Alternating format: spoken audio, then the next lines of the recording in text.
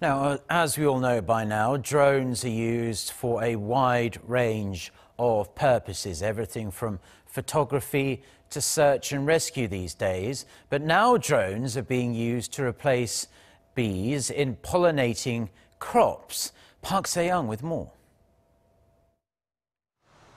Inside this greenhouse, a drone is hard at work.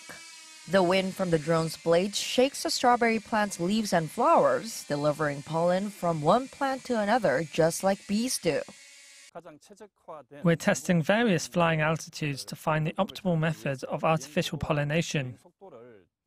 This allows for homogeneity in pollination and can reduce fruit deformation by over 30%. Bee activity is low when it's cold and this reduces pollination. Instead of bees, drones can do the work. Hadong County in Gyeongsangnam-do Province will be the first in Korea to test out drone pollination at strawberry farms. Park Se-young, Arirang News.